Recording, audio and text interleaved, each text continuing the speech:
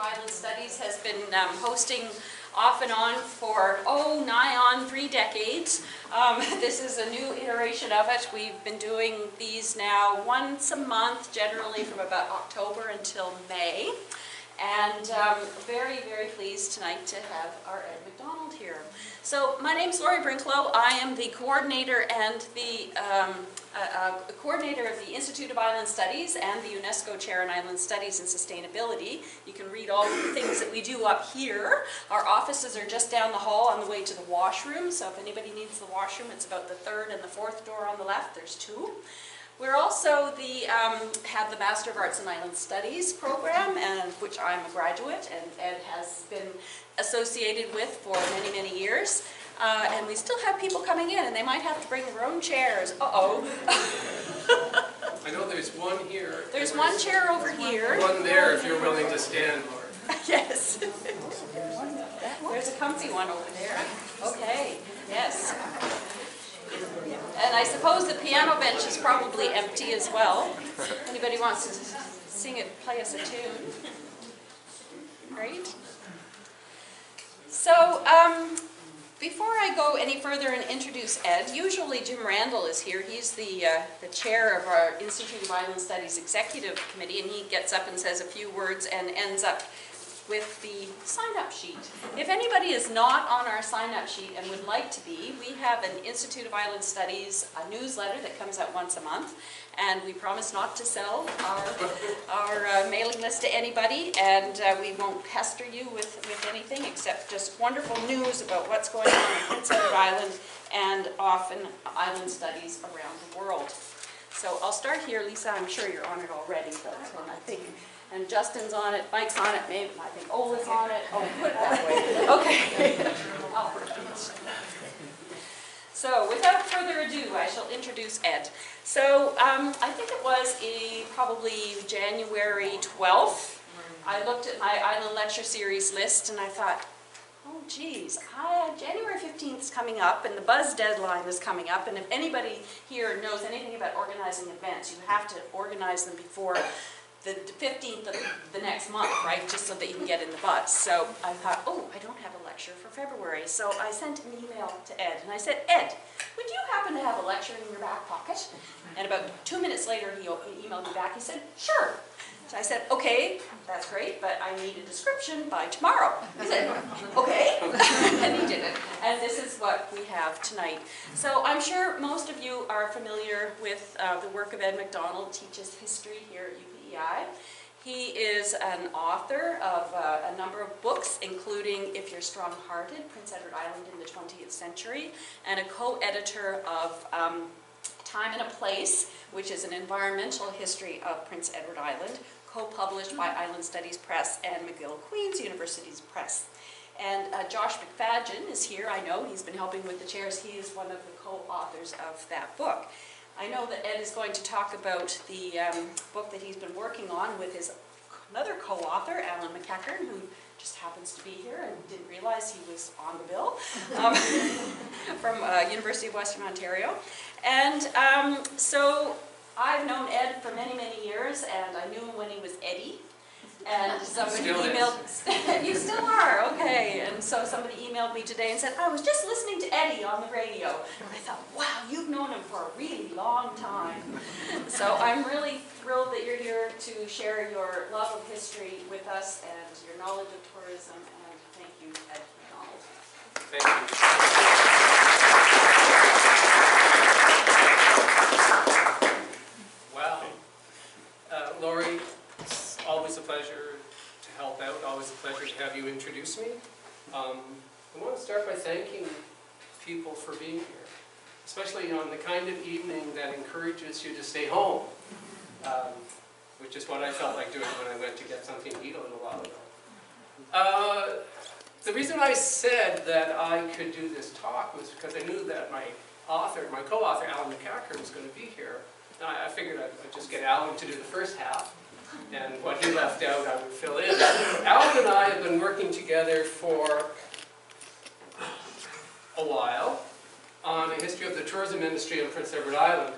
And most recently I've been working on the chapter covering the period 1980 to 1997. And so I had to wrestle with some of the big themes. And environment is one of the big themes. So uh, I'm supposed to be giving a paper on this with Alan, if he comes with me uh, later this spring in Dubrovnik. Um, and so you're the dry run. So if it doesn't work, we don't get to go on the road. Um, so, the goose and the golden egg, I guess you can guess what the goose is.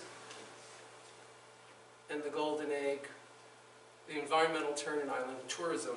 So what do we mean by environment? Well, we could talk at length about that, but what I want to talk about specifically today is a layering of the idea of environment and tourism and PEI, an incremental kind of a layering. It's not a progression per se, because each of these adds on to the other layers. So from the very beginning of tourism on Prince Edward Island, and much to our astonishment, uh, it goes back to the mid-1800s, the pastoral landscape has been among, if not the main attraction of PEI. Beginning in the 1970s, tourism promoters, if not people involved in natural history, started recognizing that nature on Prince Edward Island, as people usually kind of imagine it, meaning wilderness, and I put quotation marks around that because the you know, wildlife on PEI is mostly down in the clubs. Um, or at least when I was a university student, it was at the Trabans. Um, but they became attracted to the idea of environmental tourism. At the same time as the government is taking a bigger hand in the promotion and the imaging of the island as a tourist attraction and tourism numbers are exploding, with the development plan era, there's an idea that we need to you know, protect the environment. There's a fragility there. But the idea is we need to protect it for tourists. And gradually that didn't get replaced, but was overlaid with a realization, and I think one that's drawn most of you here tonight, that we also need to protect the environment from tourists. Now, we've all been tourists, so this is not an accusatory statement. I think every single individual in the room has played tourist. So that's, those are the four things that we're going to uh, try to cover in the next two hours and 15 minutes. Um, uh, this is just a little uh, squib. What do we mean by the impact of the tourism industry on the environment? It can mean a pressure on resources. It can mean you know, harm to, I'm sorry, um, things like our habitat, harms to, um, I guess, animals or wildlife. And literally, we've got the threat of pollution. And I've refined Wong because Wong is writing earlier in the 2000s and uh, uh, specifically in recent years, increasingly we're concerned with travel itself and you know the carbon emissions that that travel is adding to the environment. That's not an issue in 1990 where my story ends, but I think we have to mention it at least in the process of the lecture. Some tourism numbers, here's what we're talking about. Tourism estimates uh, vary, and they are estimates. Uh, tourism will tell you they are more reliable than the tourism stats anyplace else in Canada, but the definitions change over time, and so the estimates should be taken with a grain of salt, sea salt. But you can see 1951, estimated tourism 35,000. 13 years later, it's 330,000. A decade after that, it's 573,000. In recent times, I think we broke the million mark in 1997, and just this morning I was looking up some numbers, and the estimate for last year was 1.58 million visitors. But we don't calculate it in the same way that we did in 1950. Starting assumptions, the place of place. Well, I've already mentioned that, but I'll just show you a few slides. Uh, this is the evidence part, because I'm supposed to be an academic And so I'm supposed to have evidence for the things that I tell you. Um, this is the famous report done in the mid-60s on the major industries of PEI by Acres Consulting from Toronto. And this is the foundational work for the development plan that was signed in 1969. And it has these experts who are trying to qualify and quantify what the attraction is on Prince Edward Island. And it's basically talking about the pastoral landscape is our major resource according to their research. Unspoiled agrarian landscapes, uh, which to them are as important in terms of environments as wilderness, such as you might go see in Northern Ontario. What were tourists doing when they came to Prince Edward Island in 1965? Uh, the most listed activity, and it's still the number one activity, is sightseeing, touring the landscape. Is it the favorite activity? No, it's almost accidental. The favorite activity in 65, um, most popular activity, sorry, was doing that touring. Second most popular, swimming, however you define that. And the percentage of people camping or staying in parks, um, 23%. And yeah, for those of us who are advocating for a new museum for Prince Edward Island, the Central Museum, uh, hopefully the numbers have gone up. The story hasn't changed significantly. This is a departmental report from 1988-89. And again, it talks about the quality of our natural environment is and will remain the most vital element of the province's economy. I'm not going to read all of these to you because I'm assuming you can all read English. So Acres advised and the development plan proposed that in order to preserve the pastoral landscape that visitors like to see, which is our main attraction, we need to pass regulations. We need to protect it, protect the park-like atmosphere, and that's going to mean land use planning.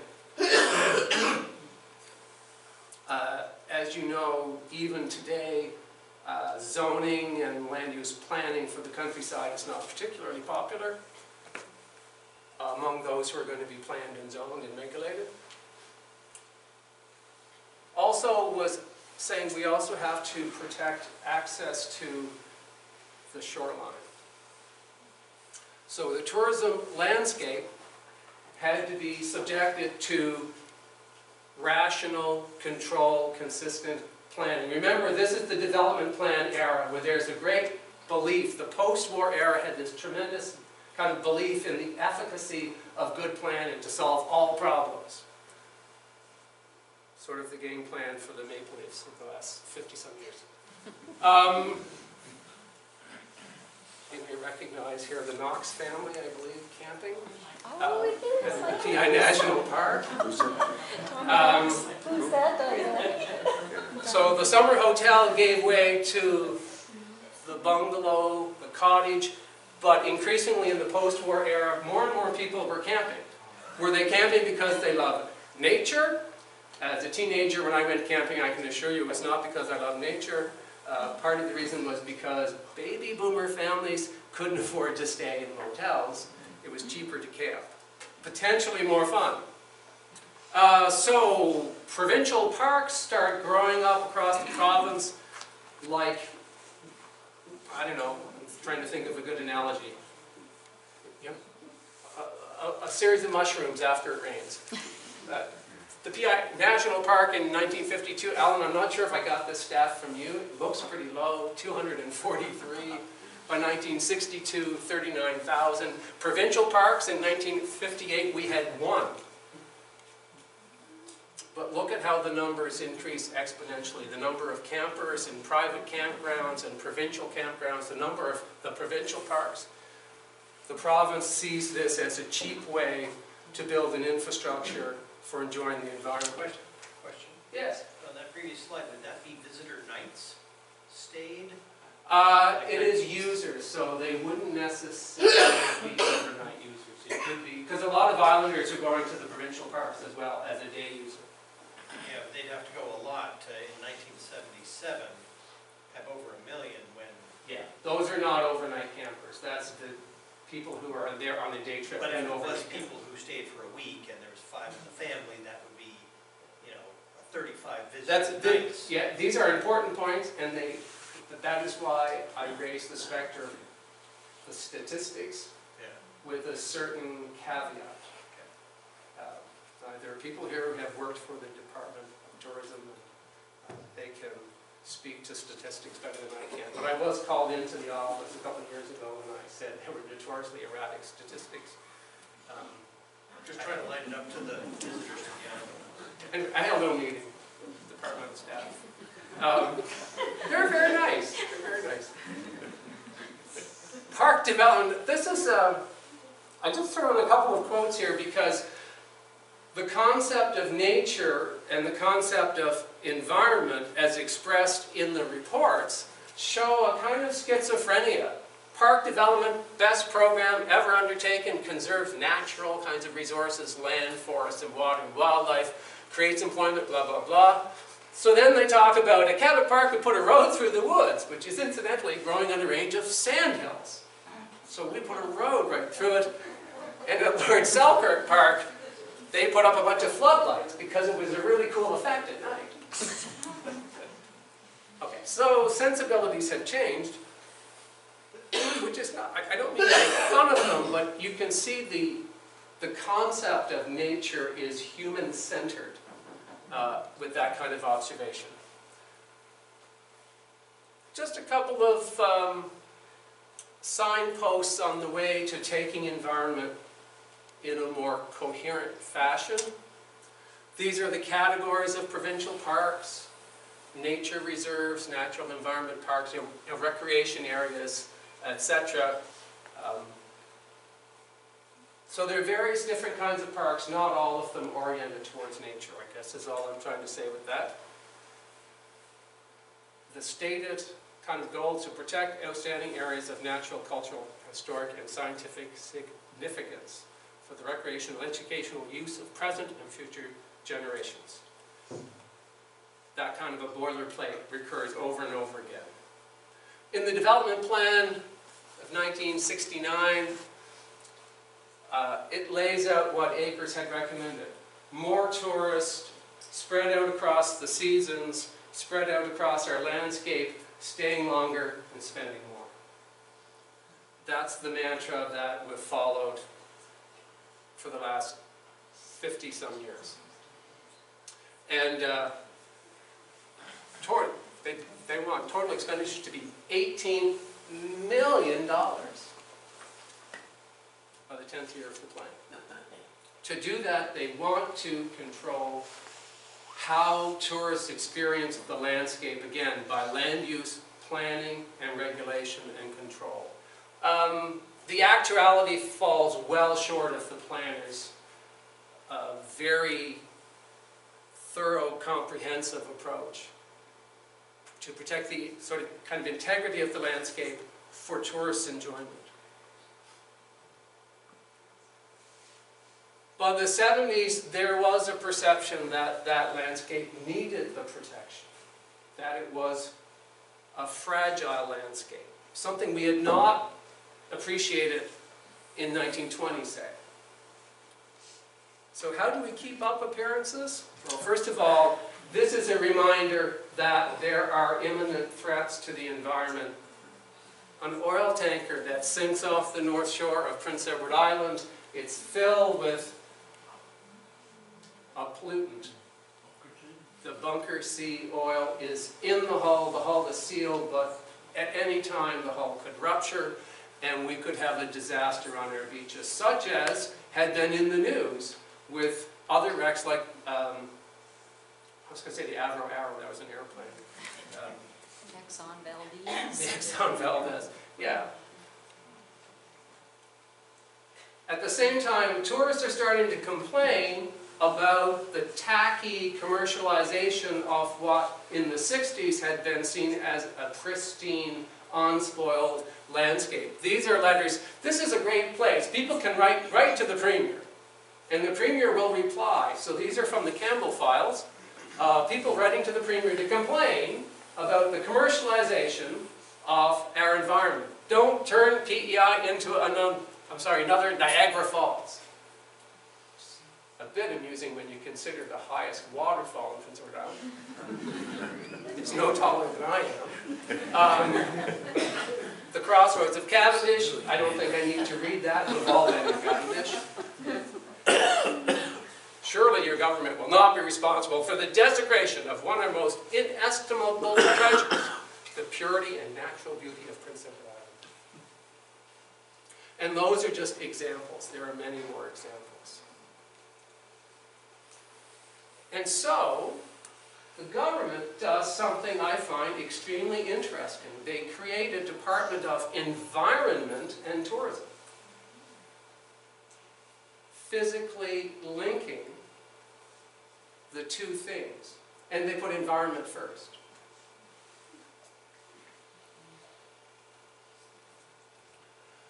And this, again, this is kind of a boilerplate, but this is from uh, the introduction to a report. So these are the words of the minister. Uh, environment, tourism, closely related. Islanders are concerned about both. Principal idea is to recognize and place emphasis upon this close association. Our mission is to manage a rapidly growing tourist industry in such a manner as to minimize the conflicts between tourism, agriculture, and other environmental concerns. I think that crack I made about the Department of Tourism may be coming back to haunt me. That's not them calling, is it? um, so you want to have your cake and eat it too. Tourism and environment are not in conflict. They're partners. And uh, this is uh, the various different ways the departments are organized. I've always you know, maintained that it's actually the movers who control our government. Because every year or two they reorganize all the departments and everybody has to relocate. I think if you get to the bottom of this, you will find that. Talk to Foley's, your Rushes, Jenkins. Um, but uh, Department of Tourist Development, Environment and Tourism, Tourism, Parks and Conservation. Tourism and Parks is a durable uh, twinning. And legislation is enacted, a lot of which we have forgotten. Not all of it inspired by a desire to protect the environment for tourists, but that's a consideration. Signage Act. Lots of fallout about the Signage Act. Thank goodness we passed it. Limiting the promotional signs. Canned beer banned.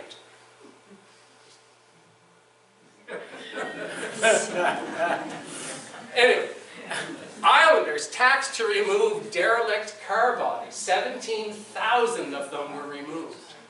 And I believe there's now approximately 16,000 more derelict car bodies.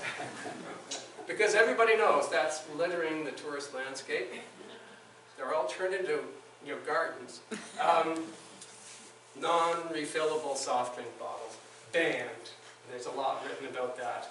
And it is to protect some local industry, but it's also to prevent litter. Aluminum pop cans banned. And that reminds us that um, for a lot of islanders, protecting the environment meant keeping the ditches clean and protecting us from the signage of billboards. And you just have to drive in New Brunswick, sorry if anyone here from New Brunswick, to understand the kind of visual kind of pollution that that offers. So blah, blah, blah, it's not just a change of name, it's a commitment to the people of the province and to tourists, but they don't vote. Uh, here is a garbage-a-thon in Kensington from 1971. Uh, was anyone here at the garbage-a-thon? I can't, uh, I can't read most of the signs, but most of them are saying, don't, you know. Well, actually, one seemed to be saying Trudeau. So, I'm not sure what the message was with that. Fight pollution, Gordon Bennett, I'm sure, something hardworking, loyal. Okay, maybe we shouldn't look too closely at, at that rally. Here's a tourist guide, a visitor's guide from uh, circa 1965, showing you the landscape that tourists enjoy and spraying pesticides on their crops. Just to make sure that the mosquitoes and the you know, potato bugs don't, don't you know, ruin your vacation. Um, they wouldn't do that in the 1970s. That's the point I'm trying to make. This is a shot from the 50s. Alan has, at one point, he, I think he termed this the discovery of sex in island tourism. Um, that's a paraphrase of what you said, Alan. But here they are, hanging out on the dunes. This is not good. In a tourism film from the early 70s, they say, we used to take our sand dunes for granted. Now we take care of them. Get the hell off to do. so I want to talk about uh, case studies now for the next little while. Um, but mostly so that I can show you again my clever logo thing. um, tourism and the quest for a second national park, which is something that we talk about in the tourism book. that Alan MacEachern has written uh, a wonderful book on the national parks in the Atlantic Canada region, the first of the four national parks. This is a map of the national park. Uh, and it shows you something that concerned the Parks Canada people greatly by the 1970s, actually by the 60s, and that is, it is a very narrow strip of land along the seashore. And the original conception of the national park was wilderness when they were first beginning to be organized. And Cavendish is not wilderness. It's a recreational landscape. So by the mid-60s, the attendance at the national park was skyrocketing. And look at our ranking. We're the second most visited national park in Canada. These are taken from Alan's book, which is still in print and for sale. Um, I wouldn't say that, but Alan is here. Um, they need more room. And they're thinking about their wilderness mandate.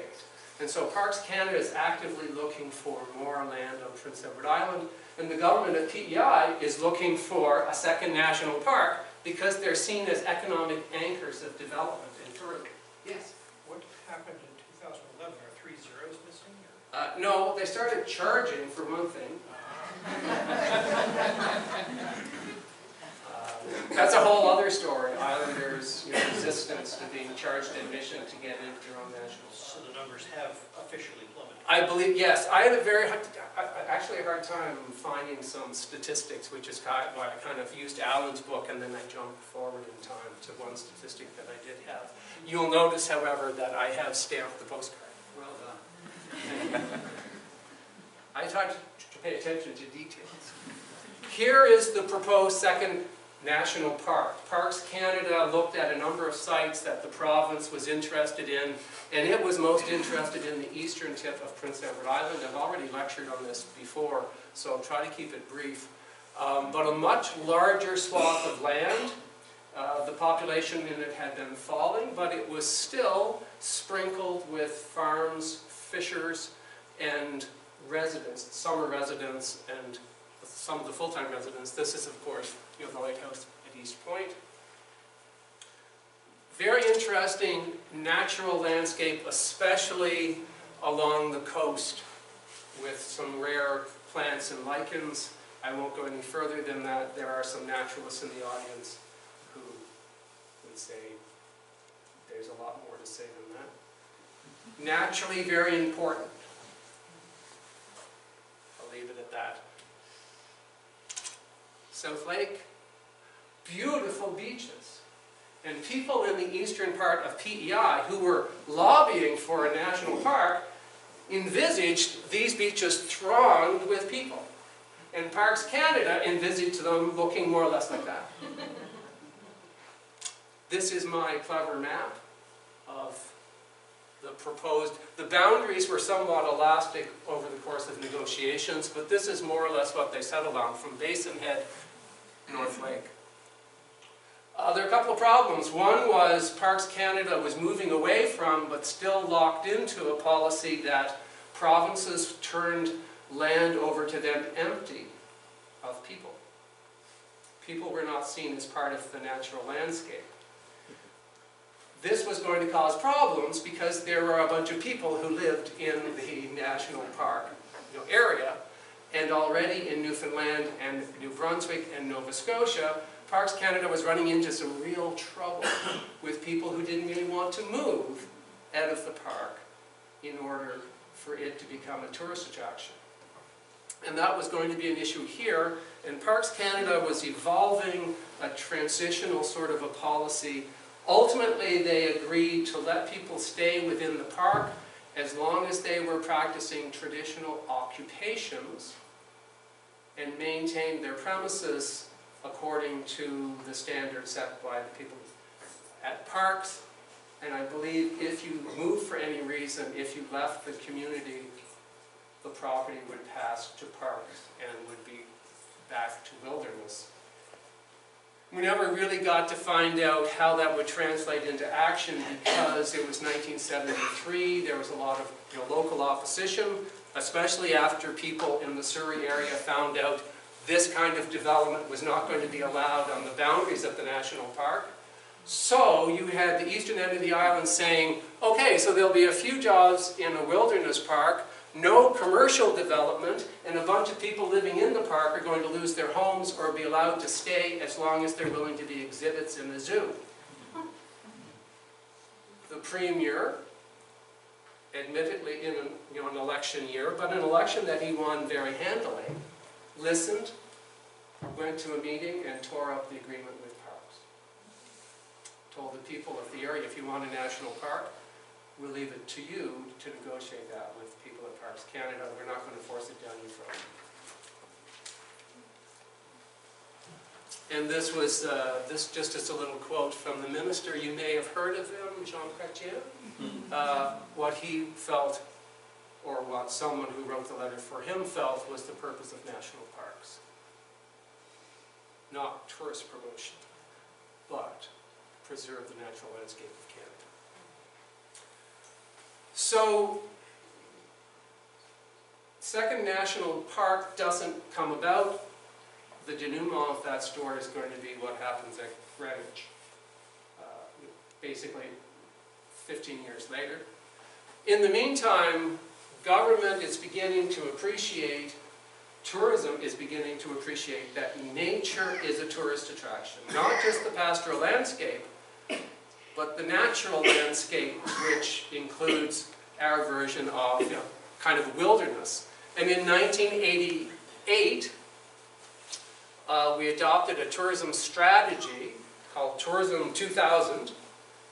Sounds like a lower-made automobile.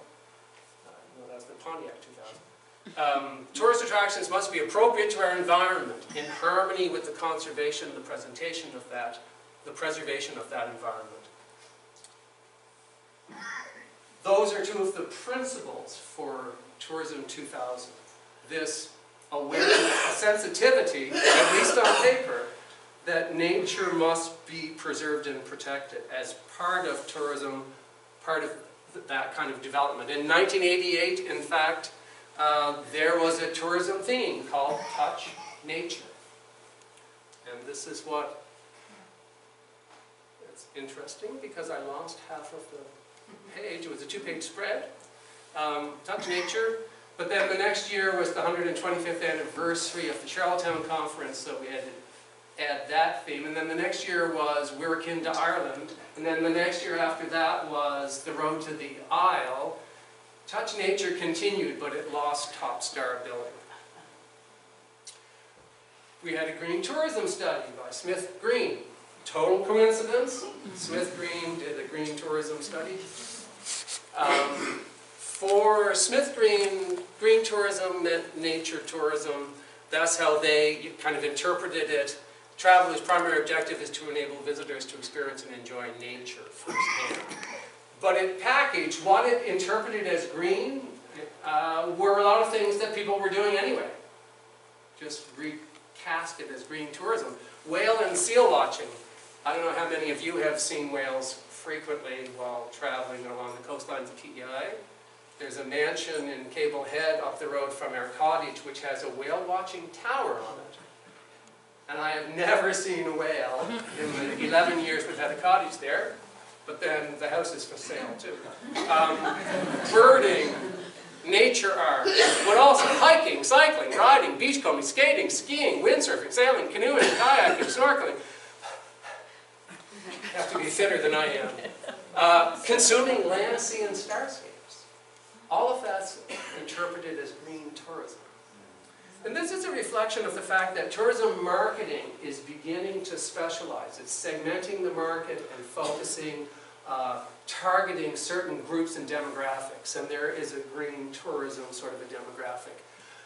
It's a little dangerous to uh, put all of your eggs in one environmental kind of basket.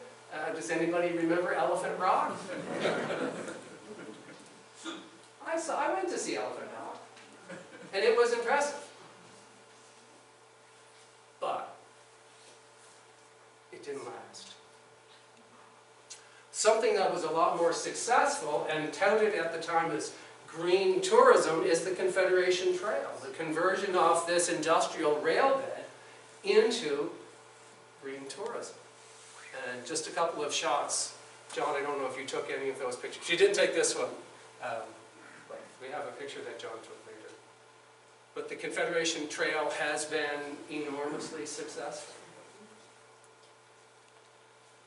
The poster child for the conflict, the emerging conflict between the tourism industry and environmentalism is the controversy over Greenwich. And this is worth probably a separate lecture or separate article. Um, Greenwich is an environmentally sensitive, environmentally significant part of Prince Edward Island, and it contains the earliest evidence of habitation by us uh, on PEI. And it had been in private hands since the late 1960s, and there had been development proposals put forward repeatedly. This is a little map of the area from a planning study in 1981. And this is what they were proposing to do in that iteration of the resort plan for Greenwich. There was going to be an 18-hole golf course, a marina, a little public access beach for the rest of us, but most of it was going to be reserved for commercial hotel and lots of private residential development. The province was caught in the middle because it had declared the Greenwich area a special planning conservation area in 1975. And thus, you couldn't just go ahead and develop the property even if you owned it. And in 1988, the Island Nature Trust took up the cause of protecting the site from development for tourism. Local people were not well pleased in general. One of the interviewees claimed nine out of ten of the residents in the area were in favor of the development because it was going to provide jobs, drive up property values, um, improve the quality of their life. And as one of the residents whose name I've left out, uh, a, mild man, to be quite honest with you, a very mild-mannered man, uh, they're so damn much concerned about maintaining the natural beauty in Greenwich by people who don't live there. Um, so tourism and environment and local people are often in conflict. The upshot of it all is that there was a long uh, court case. Um, the, I think capital investment was scared off by the fact that there was no rapid approval of the development plans. Whether or not the capital was there from the beginning is another question. Ultimately, in 1995, the province acquired the site in a land swap with the, you know, latest owner and developer, and three years later, it turned the site over to Parks Canada to become a new annex to the national park. So the national park finally got its you know, wilderness area. Smaller than the one they had in- kind of envisaged. This is, uh, I forget how many acres, 1,400 acres? you know? Anyway, we've all been there. They were going to build an eco-lodge. The conservationists opposed that. Some uh, extreme opinion maintained that no visitors should be allowed at all in Greenwich. Ultimately, Parks Canada decided to set a quota of 100,000 people per year. And I don't know what the visitation is currently, but I can tell you it's not 100,000 people per year. But it is going up significantly, but it's probably still in the tens of thousands. The environment, tame and semi-wild, continues to draw attention. Uh, This is a promotional image for John's book. John's here in the audience, a photographer whose work I've always greatly admired. Um, And he's trying to show us the wilderness aspects of Prince Edward Island in a province that we don't usually associate with wilderness. This is not a guide to drinking establishments, as I said earlier. In the end, however, despite our occasional romance with green tourism and protecting the environment for tourists uh, and nature, for most people, you know, nature and PEI is still a beach. This is from the current tourism PEI website. This is a, a, a recent ad I just, I found these the other day. One amazing island, an empty landscape, empty, ready to be filled with your experiences, to be filled with your expectations and dreams. Which brings us to where I would like to conclude, which is with the threat to the environment from tourism. The necessity not just to protect the environment for tourists, but to protect it from tourists. The fastest growing industry in the world is tourism. Uh, the global statistics, and I have some, but I didn't put them in the slide. The global statistics are staggering. Cruise ship touring is the fastest growing element in the tourism industry. Can we just ask how many people here have been on a cruise of any kind? It could be changing. Yes. Speaking of environmental disasters. Uh, This is one of those days which occurs several times uh, a summer, or a couple of times a summer, where there are four cruise ships in the harbor at the same time. Cruise ship tourism is being somewhat arraigned in the court of opinion now because of the carbon emissions that are associated with it and um, uh, their treatment of waste. Uh, We could talk about cruise ship tourism and its impact on PEI tourism. There are lots of limitations. It brings a lot of people to downtown Charlottetown, and it brings a lot of people to Cavendish. It doesn't send too many people to Tignish or to, you know, Basin Head or Souris. But environmentally, it poses a problem, and it exposes a central issue for tourism. By definition, tourism involves travel. By definition, travel involves, at this current stage of our you know, development, carbon emissions, whether you travel by automobile, or airplane, or a cruise ship. If you want to walk or cycle, yes, that is more green. Not all of us can do that.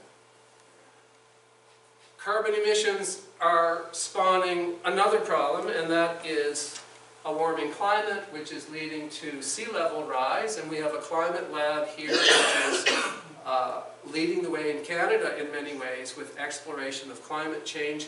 This is the projection that it has for you know, Lennox Island if sea levels continue to rise.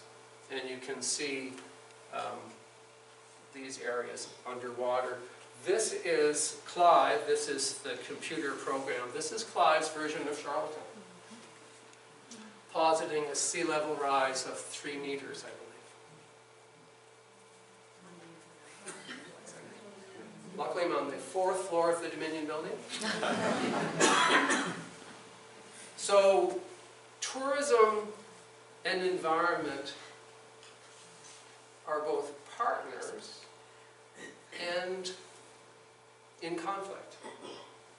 Uh, So, the choices that we make going forward as tourists, as you know, governments, as tourism authorities, are going to have to take increasing account of the impact of tourism on the environment after a century of mainly focusing on what the environment does for tourism. 40 minutes.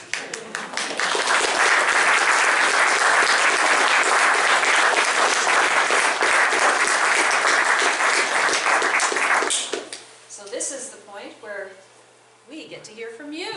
And I know, Ed, on the radio today, you said you were really looking forward to this part of the questions from the I'm not audience. sure I said I was looking forward to it. I said it would probably be the most interesting part. Because I think people bring a lot to this discussion about environment and tourism. And some people have a long history with PEI and with some of the issues that were talked about in this talk. It's always the risk when you do the recent past in history, is that too many people have remembered it. No one's going to argue with me about what happened in 1777. Uh, Except for Harry Holman. Uh, But uh, fewer people. But I, I am interested actually in, in your observations, experiences, your questions. If you have any questions, I'd be happy to try to answer them. And if you like the lecture, um, you know, credit me, and if, if you had problems with it,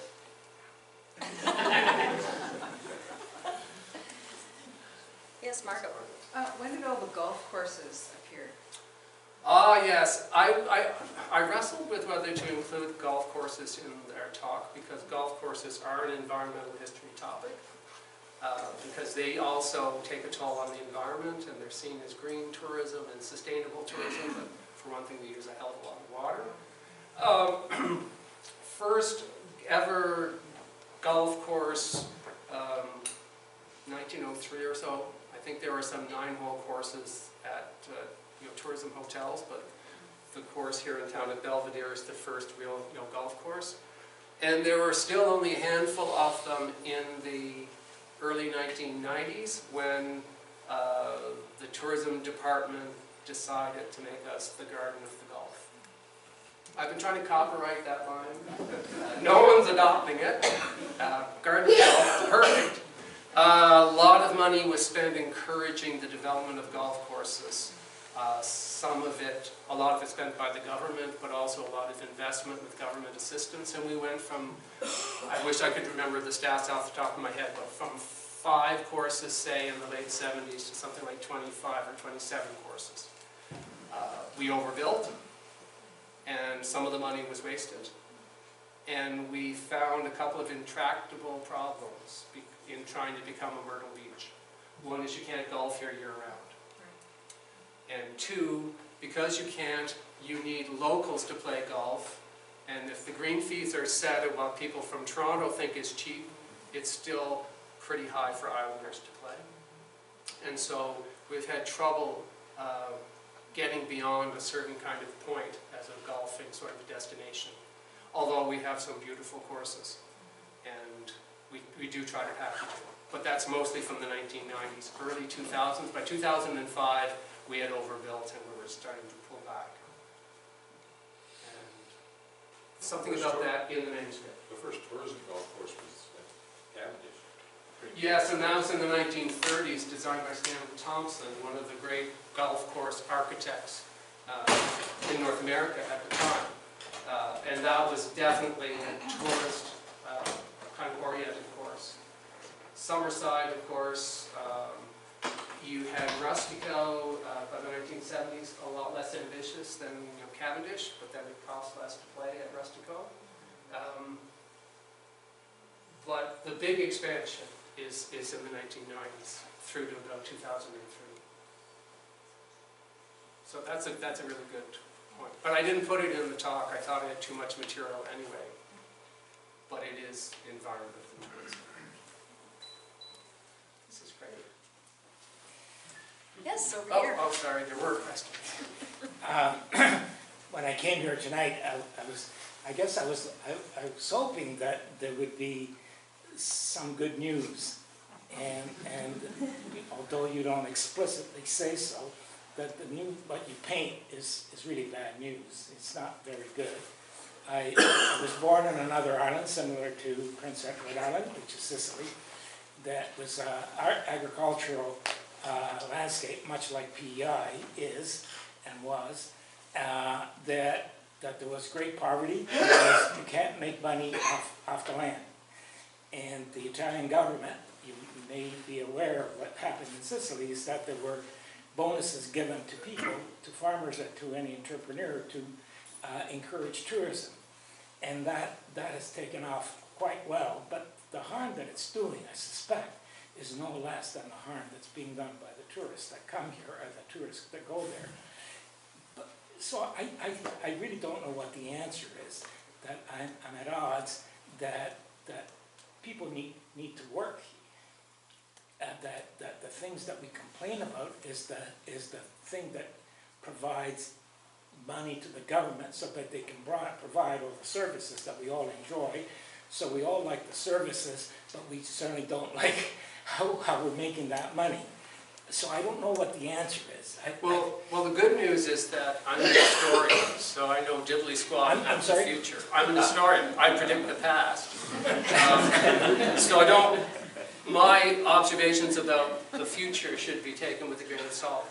Um, But the other aspect of that um, is, I think, a central point that Alan and I are trying to leave people with the manuscript of the book, and the, the book is largely written. um, is we're lucky on Prince Edward Island. First of all, agriculture is the number one industry still. Since 1970 or earlier, people have been you know, predicting the imminent dominance of tourism, that it will soon be the number one industry. And agriculture is still the number one industry. And unlike some of the destinations on islands, tourism is not the only industry nor the tail that wags the dog. Another piece of good news for Prince Edward Island is that we are still, as a society, in control of our tourism industry. It is not controlled by capital from off island, at least not yet. And so we have the ability as a government and as an economy to make the decisions we need to make to try to make tourism sustainable. Um, Alan and I have talked at various times about the argument about whether tourism is an extractive industry that uses up a society, that uses up a culture and a landscape, or whether it's a sustainable industry. And I think it depends on the choices that you make. And we still have the ability to make those. We have to choose wisely. And so every time we have a lecture where we talk about uh, things like this, it increases understanding, and understanding is the foundation of wisdom. So I'm not saying I'm wise, but we're building collectively wisdom. So that's good news. All of those are good news. Uh, but the tourism industry, to say, it's all it takes, I mean, there, there are a number of things that have to happen for there to be a tourism industry in a global sense. Stability, uh, safety, cheap transportation, etc. Things over which we have no control on Prince Edward Island. Those things could destabilize the tourism industry. But I, I think one of the saving graces is that, that the tourism is limited to a short period of time of the year.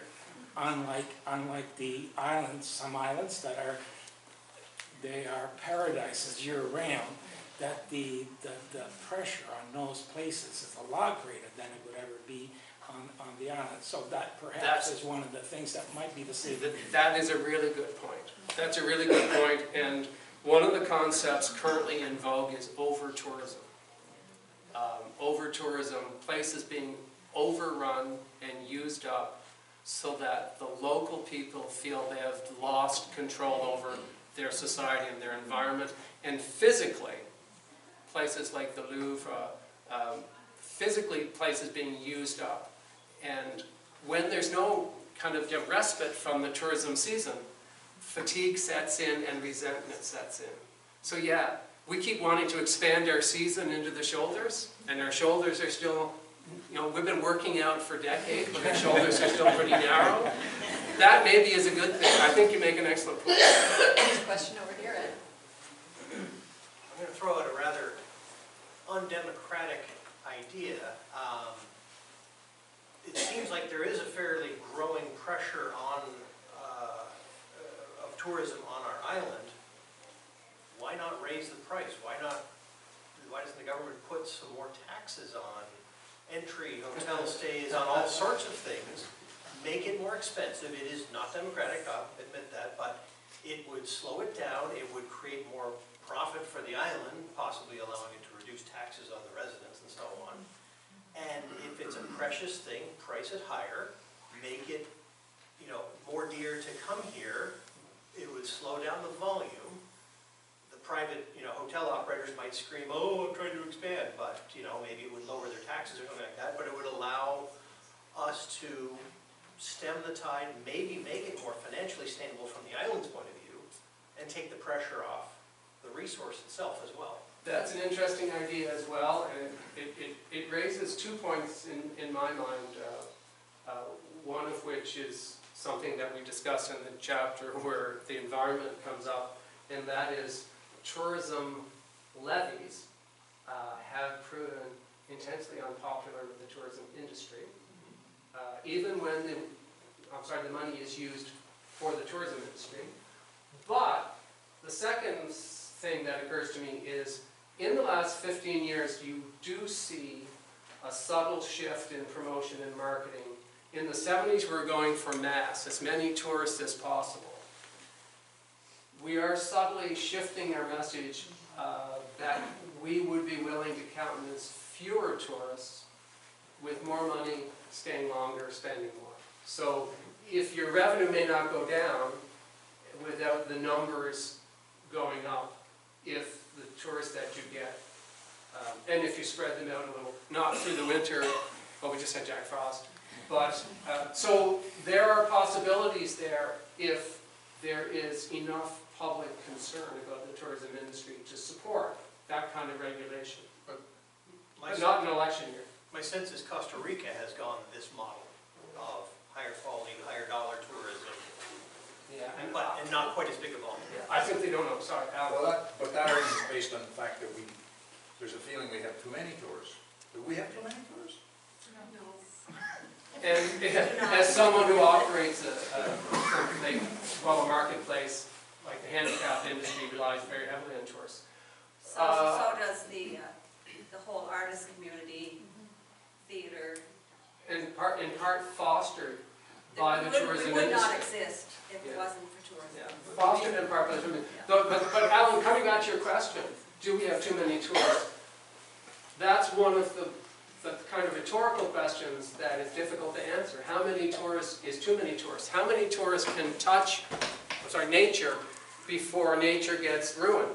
Um, tourism industry recently, we're talking about, we could have a lot more tourists. We need more tourists. In the 1970s, one report said we could stand 3 million tourists a, a year.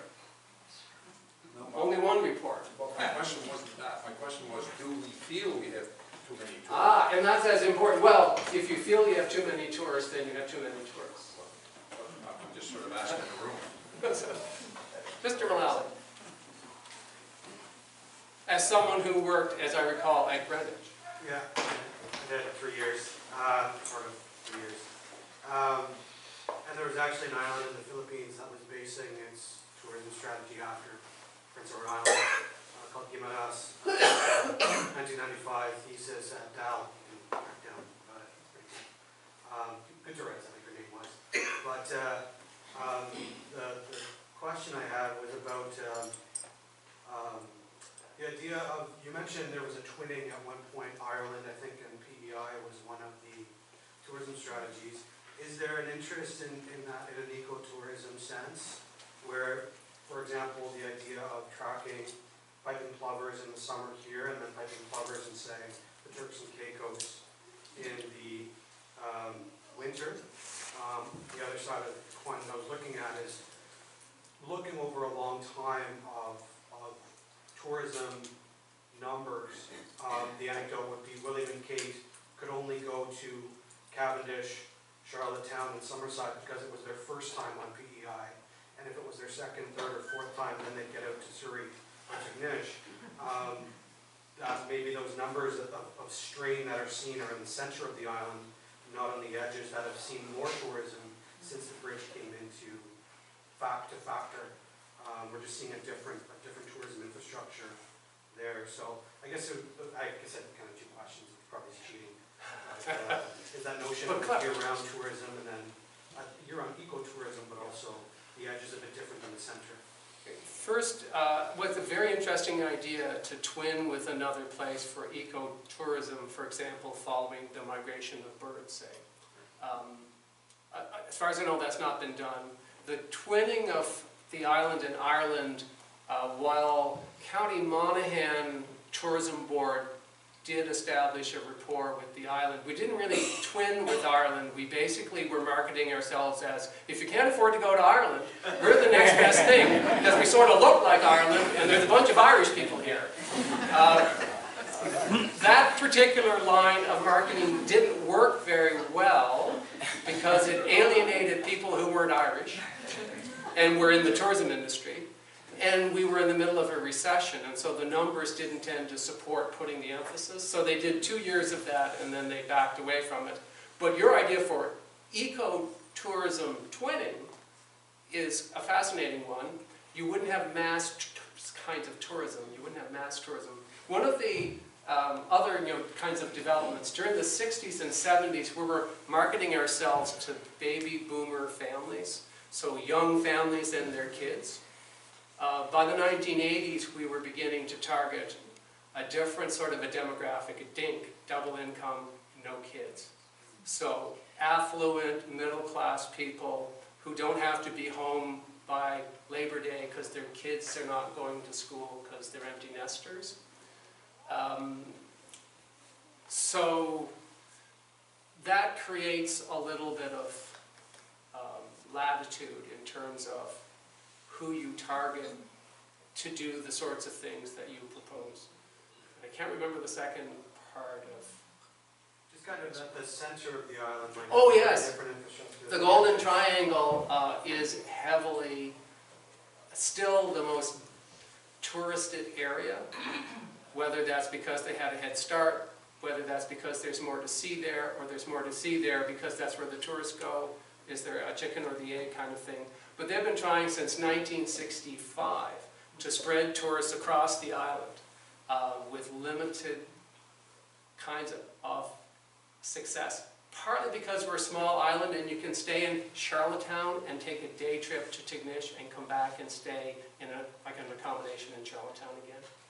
Um, but you're right, that central part, if there are too many tourists, or, you know, like a perception that there is, it's the central part of PEI and the city on a rainy day. Try parking in Charlottetown on a rainy day in July or August. I can remember someone coming to see me when I worked at Beaconsfield, and we drove uptown to have lunch, and we ended up back in a parking spot at Beaconsfield, and walking back uptown because we couldn't find a place to park. So overcrowding um, in the central part of the island, you're right, Souris is not overcrowded. Possibly, you know, Basin Head on a nice day in the summer. Uh, Justin Oh. had a question here. Yes, And okay, and I better, I better let a couple of other questions before we come back. Thank you. Uh, is there any way to uh, classify tourists among, you know, among groups? Let's say people who care about the environment, people who not care about the environment, and maybe we can focus on the pool of people who care about the environment and maybe want to pay more for that. Well, that's why I say we have the power to make some decisions that can influence the sustainability of the tourism industry. Because I have, one of the worst things about the project we've just done is reading the tourism studies that have been done. This is the most studied industry in the history of Prince Edward Island. And they do all kinds of surveys every year. And every year they number crunch in different ways so they can categorize the demographics, age, income, interest, the personality type, etc. So yes, If the surveys are reliable, you can target. But right now, what's, uh, what's the tourism slogan for right now? It's um, Come find your island. Something about mainlanders, though. But for a number of years, it was the gentle island.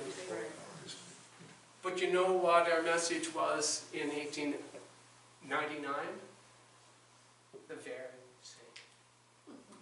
Come to Prince Edward Island, the, the gentle pastoral landscape where the rhythms of life are slower, where people are more authentic, where there is a pastoral people rooted in a pastoral landscape. You can come here and get away from it all. What we don't know is how many people can get away from it all before they're all here. Now, no tough questions. I have a three-part question.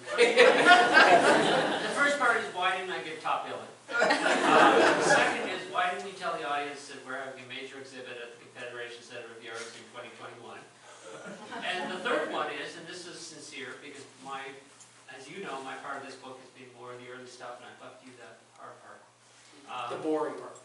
so, my question is, um, do you find, are you finding in the late twentieth and early twenty-first century, do you find uh, a sincere interest in bringing, uh, I don't know, people of color or gay people to PEI or, or minorities in a way that I know from the earlier times just was not there?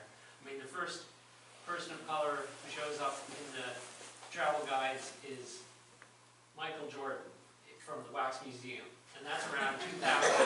There's no color, not a one. So I'm just wondering if you think that there's sincere effort on the part of the tourism industry, including the tourism department. So, an environmental history question. Do you want the screen back up again? Yeah, turn the screen back up. Uh, I was curious, I was thinking about that, Alan, because we've talked about it. Uh, This slide from the current tourism website, Yeah. um, There's a beach scene with a beach scene with several people of color. Okay. So I'm not sure how you measure sincerity, um, but I do think that the island society, the demographics of the society and cultural attitudes are becoming more inclusive as the population on PEI is becoming more inclusive and diverse. And so there are some efforts being made to recognize that the desired tourist in PEI isn't necessarily Caucasian, white, and English speaking. It wasn't even easy to find models of color in the time. Yeah, Carolyn's work. So, but as we have discovered, um, yeah, there was an implicit assumption about what the right kind of tourist was. Marianne, I'm going to come back to you, but there's a gentleman who had his hand up here earlier, and I kind of jumped, so my apologies. Um, so, in terms of history and environment, not necessarily environment, but tourism, um, how did the Confederation Bridge change the before and after? Okay, well, I've written another article about that. Um, Another lecture for next That year. will probably one of, be one of the themes that we tackle in the exhibit on tourism at the Confederation Center coming up in 2021. Where Alan will be receiving top billing, uh, as opposed to being put in, in, in brackets, because I didn't know I was coming until last night. Um, no, getting back seriously to your question, the Confederation Bridge was a lightning rod for a metaphysical debate as well as an economic debate over its impact on Prince Edward Island, its impact on identity, its impact on culture, its impact on the economy. Tourism generally was very pro, you know, I'm sorry, bridge, or pro, you know, link, um, because the ethos of the 90s was we need more people, and while some tourism advocates were saying the boat ride to Prince Edward Island is part of the tourist experience. In fact, Alan and I have published an article about the right okay, passage, the passage to Prince Edward Island as part of the experience of an island. The visceral, tangible passage over water tells you that you've come to an island. So people were saying, no, that's an important part of the tourist experience, and other people were saying, not if you have to wait six or eight hours to get the goddamn boat. Um, so there was a prediction that tourism would go up, And in the year of the bridge's opening, tourism went over a million for the first time. There was a huge spike in tourism, which lasted for two or three years until everybody in New Brunswick and Nova Scotia had seen the bridge. And then, well, there was also a, there was also a recession, so tourism numbers flattened out. But it did have an immediate impact. Uh, people said the tourist, or sorry, that the bridge would be a tourist attraction in and of itself. Has there ever been anything more boring to drive across? Unless you're in a Mack truck. Uh, but I know that uh, I've done some tours uh, on buses from cruise ships, and the fixed link is one of the stops. Uh, so it is a tourist attraction. There's a question at the back and then. Yeah, Ola. Marianne, I thought, did you have, or was it Emma? Yeah, Or was you- it was just to answer, uh, Yes. Uh, just, uh, I think that, like, for having worked on that campaign promotion one, exactly that one, and, uh, with the different guys for Parks Canada, I can say that it has been, at least for a few years, a part of their mandate to target millennials and, uh, more multicultural audience, hence, uh, why they pick those models specifically. And it was sincere. It was part of the Parks Canada mandate. Um, But it is interesting that uh, trying to, trying to target different groups, another, you know, buzzword, I think Carol with now, is experiential tourism. And authentic island experiences. As if some things that happen to you on PI aren't authentic, like someone, you're breaking into your car and stealing your change. But other experiences, like going clamming, are somehow authentic island experiences. But all, all joking aside, experiential tourism is rooted in the environment. It's rooted in doing things in the landscape. Now it's gotta be transformational as well. Yes. Transformational. If your life is not changed by coming to Prince Edward Island, you may as well stay home. I'm wondering why they don't use that as a tourism slogan. Transformed or your money back. You know this is being videotaped, right? I've already gotten in trouble. Yes, sorry. Okay. I can attest to uh, the, the bridge bringing tourists over. I used to do the tours down there and tell people how the bridge is put together and all that. And one morning I walked in and my boss says, you have a, a busload of Hawaiians coming in at ten o'clock. And I went, yeah, Hawaiians. You know, this guy didn't have a sense of humor. I thought he was trying to have a sense of humor. So I went out back and I'm waiting for this bus to arrive and this big, beautiful, shiny, black bus drives up, and I'm like, oh, heart attack, I'm in love. Black bus. So I forgot all about the Hawaiians, right? And he was coming in the wrong way, so I had to get him to back up and go in the gate. And, um, he opened the door, and it was one of those really high coaches. So I went up a couple of steps and greeted the driver, and then another couple of steps, and when I turned, it was a busload of Hawaiians. And we went, aloha! Why would you leave Hawaii to come here? Because they want to fix it. People with Hawaiian shirts and camping around the neck, it was, it was unbelievable. Well, people travel, right, because they want to experience other, something other. Uh, well, there are all kinds of reasons why people travel, but that's one of the things. They want to see something authentic, and they want to see something different. Um, but I, I know either here, they want to fix Lincoln why. It will have no environmental impact on Pacific Ocean whatsoever. Um, I think Ola has a question. Okay, and then this gentleman did have a question. Okay. I was really excited about the landscape itself being top billing, I think 83 percent or some really high thing. Do you have any comments on the attack on the landscape by roundabouts, straightenings, bypasses, uh, uh, shopping malls? Do you, do you think we have to worry? This is being taped, right? Um, I found it curious, and that's why I included some of the quotes about in the 70s, trying to, um, to control what people would see from a passing car. And uh,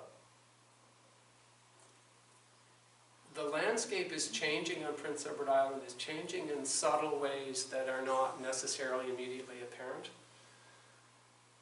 And so, uh, farm consolidation, the elimination of hedgerows, is changing the agricultural viewscape. But I, about a decade ago, when I gave the first lecture I ever gave based on our tourism you know, project, I said we may get to the point where we're paying, as a tourist industry, the farmers to farm. Because it's farmers, it's agriculture that created the combination of woodlot, field, and stream that is so pleasing to the eye that tourists are viewing when they look out their car window. And the number of farms on Prince Edward Island has plummeted in the last seven years. There were 12,000 farms on Prince Edward Island in 1941. Today, there are probably fewer than 700 business farms as opposed to people listed in a tax return as a farmer. And they're maintaining the landscape that we still sell. That landscape is changing. Um, even when farms grow back up in woods, in forest, I can remember taking friends from Ottawa to my home in Newport, driving from Cardigan down through you know, Mitchell River, and that, in my father's time, that was farmscape, and you could see all the way down to the Cardigan River. It had all grown back up. And I was like, this is the most mediocre you know, landscape on Prince Edward Island, and my friends went, this is so beautiful. Seal River? You've got to be kidding. Um, so, it, it comes back to how much do we try to dictate or control what people see and experience, or how we package it. I mean, a lot of our books concerned with marketing and imaging of Prince Edward Island. But in some essential ways, the pastoral landscape is the same. In some essential ways. But if you know the landscape, you know it's not the same. Wouldn't we drive, would you wouldn't be taking the drive from North River corner to the end of, of the bypass at the other end, as far as driving through there, you wouldn't know there was a farm on on any of it. Yeah, Charlottetown's uh, reach uh, is spreading in the same way that Toronto's reach is spread. Just the scale is different. Uh, Some of the best farmland in Prince Edward Island is in the outskirts of Summerside and Charlottetown, and most of them are growing apartment buildings now. It's a different kind of cash crop. Oh, sorry. One, two, and then Claire in the back, and then we'll probably wrap it up, so, yeah, go ahead. Yeah. Claire will get the last question. Claire can have the last questions. No pressure, Claire. Uh, I was going to ask Ed about the change in the uh, dynamics with regard to concerts. I remember in 1970, there was a a protest. 1971. 71. Junction 71. Junction, No more, no gatherings of more than 10 people. Now we have 60,000 or so coming to Cavendish. What's the history that's happened here? What a wonderful comparison. Again, it's a tourism thing, not necessarily environmental tourism. Yes, in 1971, to prevent an island equivalent of Woodstock, called Junction 71, with notoriously wild, unruly acts like Edward Bear, Bruce Cockburn, um, Sam Minglewood, or maybe Sam Moon rather. Um, we passed an act which put at the discretion of the Attorney General public gatherings. And we were dubbed by Time the uptight little island. Context is everything, right?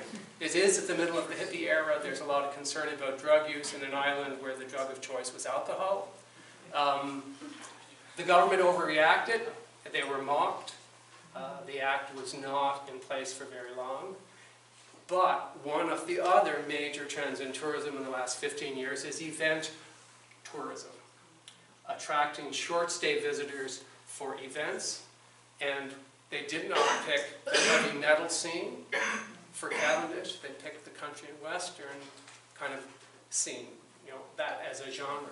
And government pumped significant amounts of money into promoting that. So in 30 years, the attitude towards concerts had changed, and we weren't as uptight anymore. Jonathan, I don't know if you've been at Cavendish to perform.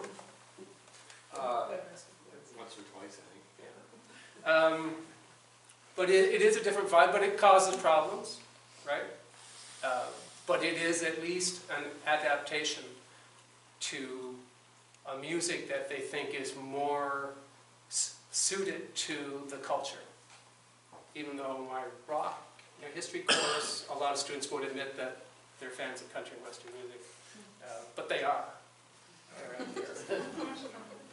Um, Event, event tourism is a difficult one as well. It's like cruise ship tourism. It has an, a- like a significant impact, but very narrow. And event tourism just gets people to come for a couple of days. And they mostly come from next door. We keep trying to attract people from Ontario and New England, and apparently the United States and Hawaii. Um, and yet, most of our tourists come from nearby. And for them, coming over for a concert in Cavendish is an ideal weekend excursion. So it's very clever in a way, even though I'm not a country and western fan. Or see, Yeah, ZZ Top.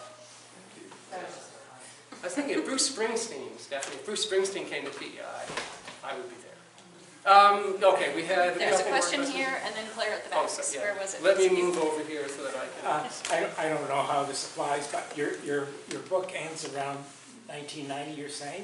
1997, 1997. but there's an epilogue that covers the last Uh, 15 My, years. my question is that if your book were to end in uh, 2020, or 2015, 2020, or, or today, and with, would, would that include the effect that tourism is having on society and housing in particular, and the issue of Airbnb? I don't want to touch on, it's a touchy subject. It's a touchy subject. It is a touchy subject, but again, uh, it actually is mentioned in the epilogue of the manuscript, that among the challenges, Airbnbs, um, I have no wisdom to offer on that front, but it is a definite trend that undercuts tourism operators who do accommodations, who actually are licensed and pay all kinds of fees and regulations. Uh, The the concept has evolved from someone who's got a spare room, who's going to be at the cottage for a while, that can make a few extra bucks, to people buying, you know, houses on Prince Edward Island solely to use for Airbnb.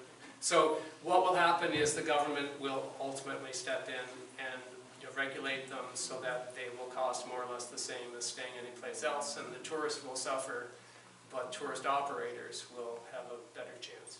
That's my thought about what will happen.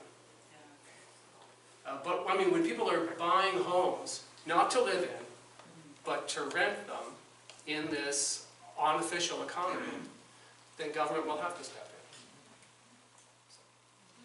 That's my thought. Last but not least, Claire. What are your thoughts about the impact of the writings of L.M. Montgomery and the current interest in the character Anne at, on television and movies and that, and the impact that that has had in tourism and her sense of place, the importance of place? There is a character in the Montgomery books that we don't often identify, and the character is the island, PEI.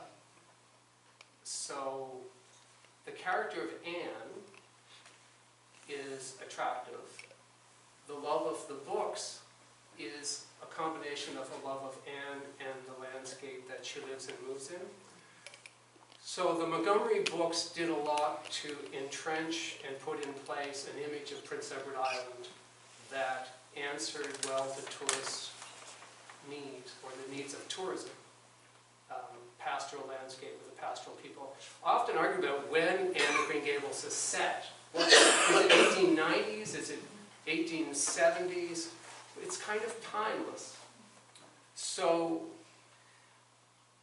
only a few years after the book Anne of Green Gables appeared in 1908, tourists were coming to Prince Edward Island without our advertising for them to make a pilgrimage to the sites associated with the novel. And by the 1920s, local operators in the province were putting up convenient identifiers in the landscape, often, according to LMM, incorrectly identifying some of the places in the landscape. Every time there is a significant new and artistic release, there is a bump in tourism on PEI. Whether that's the musical Anne of Green Gables, the Sullivan film was perhaps the greatest example. There was a big spike in tourism uh, because of the Sullivan films and their worldwide reach. I don't know if Anne with an E is having the same effect because it's very gritty. And it's using Anne to service a modern agenda. And it's not really in the spirit of the Anne books. So they, they, it may be quite a good show, but it's not the image of Prince Edward Island that people fall in love with. In fact, you wouldn't really know whether that was on PEI or Vancouver. Um, so Anne tourism has been extremely important, literary tourism has been extremely important, but it also spills over into landscape tourism because the island is a character in the books. And so, yeah, that's another dimension of environmental you know, tourism. What a great place to end on. I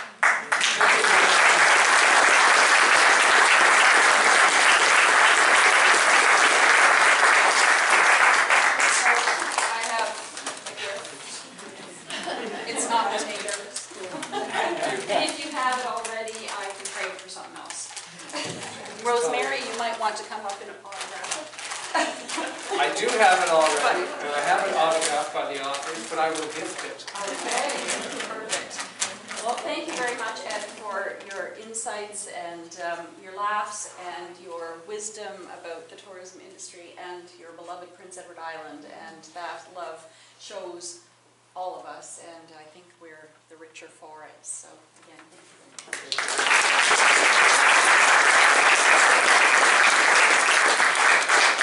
So if you're on my mailing list, um, uh, you will see our next lecture when our, my mailing list uh, newsletter comes out in March. It's going to be March 24th, another Tuesday night. It's called It Wasn't a Night Unless You Danced a Set. And uh, it's about music, change, and community on an Irish island. We are having Rory McCabe, who's a visiting Irish Council Research Scholar, with us in March, and he's from Clare Island in County Mayo in Ireland. So I to be able to come. And thank you so much. I've mentioned that we uh, do post our videos, which my long-suffering husband Mike has been doing here up at the front with the video camera. So if you want to go to islandstudies.com, you'll find Ed's lecture and other lectures when the equipment worked. There were a few glitches we had over the last couple of uh, times, but most of our lectures are up there as well. And thank you to the people who um, helped move the chairs, and maybe I'll get you to help move them back, that's all right.